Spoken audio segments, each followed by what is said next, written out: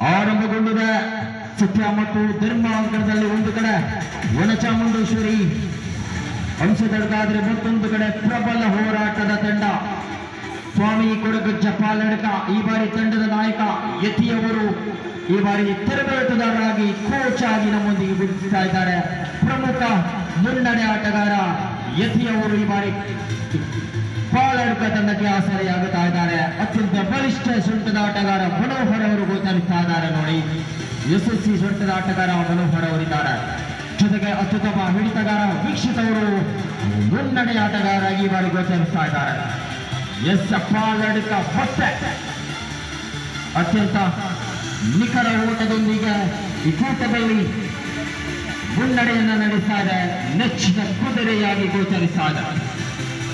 ಆದರೆ ಅತ್ಯಂತ ಅನುಭವಿ, ಅನನುಭವಿ ತಂಡವಾಗಿದ್ರು ಕೂಡ ಹೋರಾಟವನ್ನ ಬಿಟ್ಟುಕೊಡ್ತಾ ಇಲ್ಲ. ಒಂದೂವರೆ ನಿಮಿಷ ಸಂಪನ್ನಗೊಂಡಿದೆ.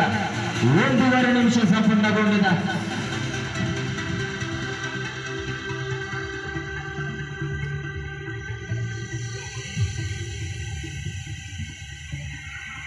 ಆ ಚಿನ್ನಪದ ಜಯ.